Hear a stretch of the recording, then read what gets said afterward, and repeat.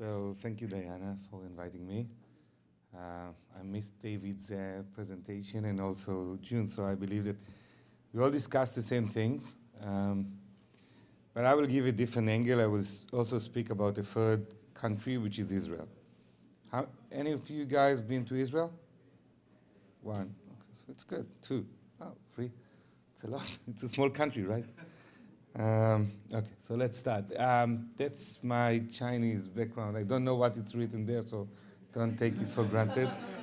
Um, but basically, um, as Diana said, I was involved with investments over the years, um, been a lot in China, and found China as one of the biggest potential for Israeli and US tech. I, I am a great believer in in cross-bordering, I think this is the biggest potential when you go out of your comfort zone. Um, and um, we have done uh, also investments in China.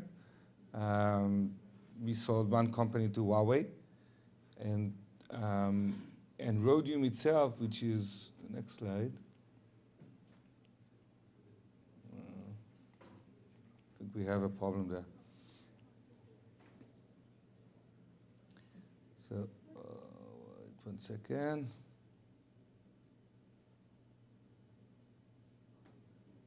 So Rhodium is just not a typical uh, investment fund. It's not a fund per se. It's a family office that is an Israeli family office that controlled about a third of the Israeli economy for many years. Uh, the family invested in also in China. They were the first uh, institutional investors in a fund called Infinity. They are GPs in Infinity. Infinity was one of the first um, global funds to invest in, in China, mainly in China. Uh, we have invested in, in hundreds of companies and unicorns. Uh, most notable in the past years is uh, uh, Mobileye. Mobileye is the company that was acquired by Intel for $15 billion. Um, but also many others. They were the first investors in the Israeli VCs and tech. Um, we are now investing for the first time from a fund per se, not only from the family. And, and China is definitely, we saw it as a potential partner for that fund. Um, so we'll have some blinking screen, I think. Israel is a startup nation. You know the word UTAI, so it's a UTAI nation. Um, it's a small, it's a small country. Um, we need to find a way. Can you just?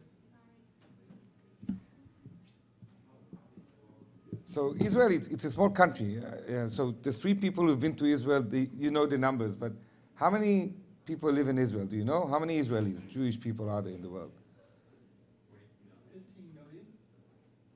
Okay, close. There are lots of people who say 100, 200 million.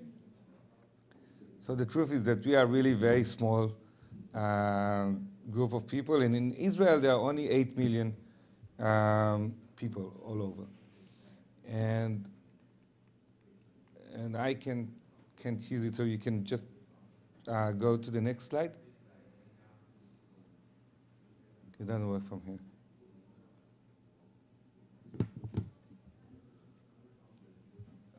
So th those are some facts about Israel, but let's, let's continue. Just to let you know that Israel has more sushi restaurants per capita than any other country in the world. it has more museums per capita than any other country in the world. And when I say per capita, it's the, the key thing, because when a country is only 8 million, per capita is the main issue, right? So just remember after this meeting, that Israel and China together is 1.3 billion people. Okay? So let's continue to the next one.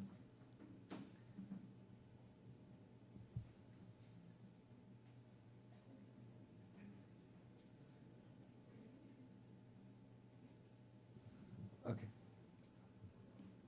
No? Thank you. So, um, working now? Okay. So, so this is a map of, uh, of Tel Aviv area, which is the, the main business center in Israel. This is most of just map of companies that are, uh, that are uh, in the same place. The density is very, very high in Israel. And the feeling is very similar to Silicon Valley. Anywhere you go, there's high tech. People either establish a startup, dream of a startup, close a startup, sold a startup. So it's very, very living, kicking environment of innovation. Uh, and, and the numbers also show it. Those are numbers are not accurate because in the past two years we were talking about three companies a day in a small country. Uh, and, and some of the reasons for that is because Israel, though it's very small, it's still producing a lots of research in academia and investments in uh, global investments in R&D and local investments in R&D. And this eventually turns to be a very innovative hub. Um, people ask us, how come it happens in Israel? How come it didn't happen uh, uh, somewhere else? So Israel is very similar to Silicon Valley. The whole value chain uh, is, is existing in Israel as an ecosystem.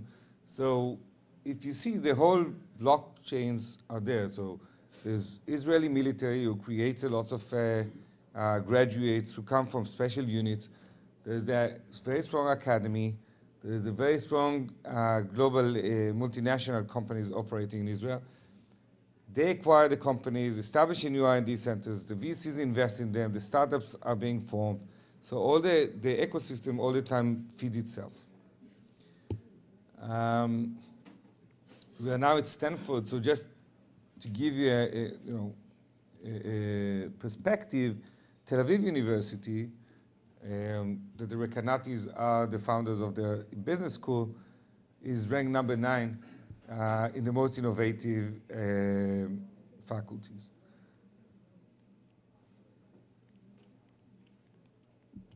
Again.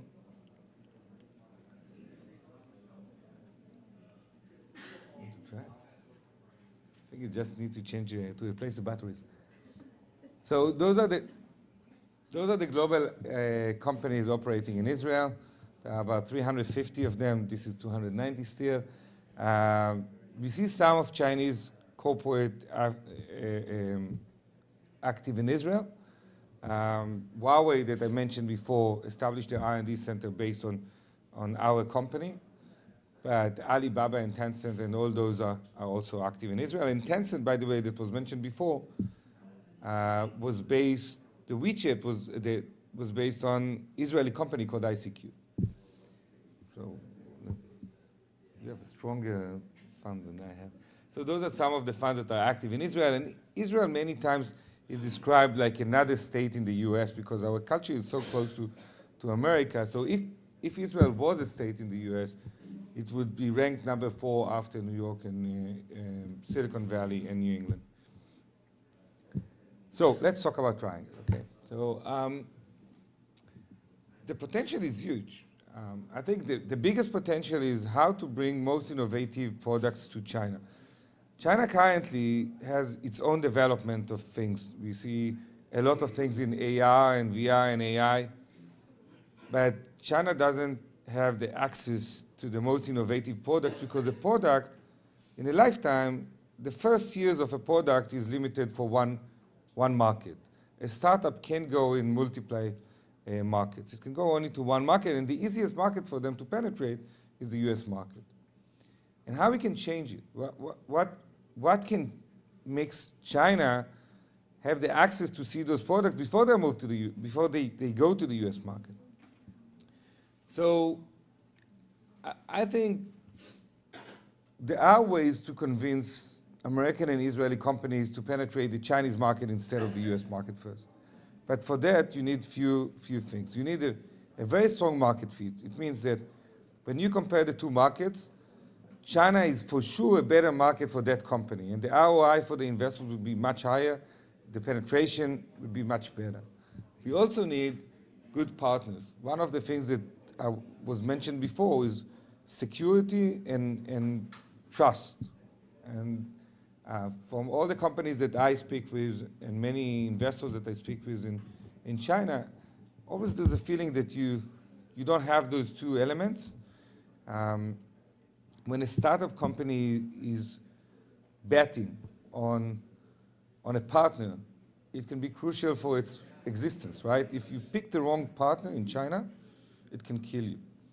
So we need to build those kind of trustable relationship that will lower the fear that we have in, in partnership. Another thing that can help with that is funding.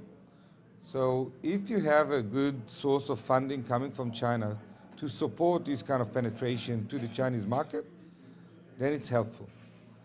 And this also can help for the IP protection because one of the biggest fears for, um, for companies who are not from China is that someone will take their IP and will use it in China.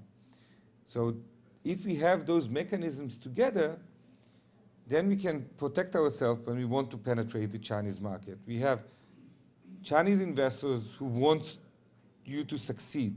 They will be your partner. They will help you, and they will protect your IP. We have a better market fit, so we have a reason to go there. And we have, and we have a way to do it. The last thing is the one that I will discuss uh, later, is the hybrid partners. So you probably know it. There's a big cultural gap between the West and the East. And me as an Israeli with this Israeli accent, I feel it all the time when I look at you guys from the side. But there are things that we don't understand when, you go, when we go to do business uh, in China. And there are things that Chinese don't understand when we are trying to do business with Americans. Um, and, and it's always how to get to the win-win situation. So if we look at this triangle, um, so I believe that Silicon Valley is still the center of everything. This is where you can try your technology, you can try the market, you can get the feedback from the market. You have the best minds who already have the experience. The whole ecosystem works seamlessly. When we look at Israel and China, so at any given moment, even now, what time? Just kidding. Uh, they have delegations of uh, Chinese investors who come to Israel to look for, for technology. There are delegations of companies looking for partnerships in Israel. But the amount of deals that are actually done and the amount of deals that actually can be uh, meaningful is very, very small. The culture gap between in the business area and the culture gap between what people in China are looking for and what the Israeli companies supply is huge. And the only way to solve it, in my idea, is working with hybrid people. So just as Diana is someone who understands very well the culture here in the US, in Silicon Valley, but also understands very well the culture in China, people like me and other people who understand the culture in Israel, in Silicon Valley, are the ones that can bridge. We need those bridge people, and it can come from Silicon Valley. The people who were exposed to different cultures, they know how to understand the Chinese culture, at the same time they know how to understand the Israeli culture. When we try to do it directly, it mostly fails. Uh, so China is very active everywhere in the world. We see them very active around here, but they're also very active in Israel. Uh, some of the largest acquisitions that have been done in Israel in the past years with were made by uh, Chinese uh, groups.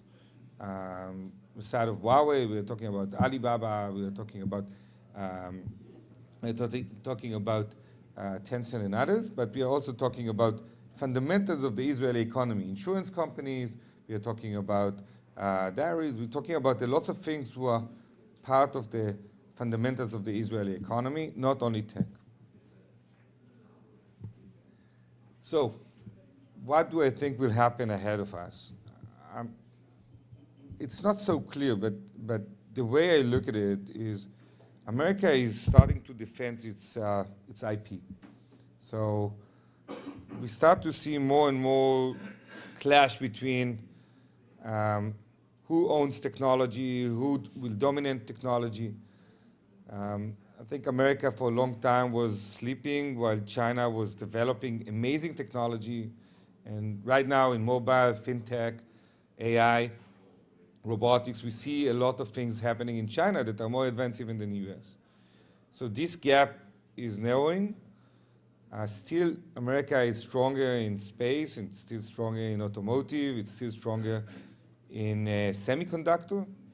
And I think America will start to defend itself from having those IP leak into Chinese companies. And this will create some kind of a clash. Th that's my feeling from conversation I have with people. And in, in that clash of, of titans, Israel is, is a third party. Israel is, is a small boat, is not, has no those, those kind of fears. We, don't, we are not too big to fight those fights, but we are big enough to not to be ignored. So, um, so this is one of the biggest potential of the Israeli tech. And I think now with the new regulations in China that enables to invest in tech, it will be an interesting time for those companies and those technologies to partner. Um, so this is the potential that they see. Those are all the sectors, but there are so many other things. We, we talk about agriculture.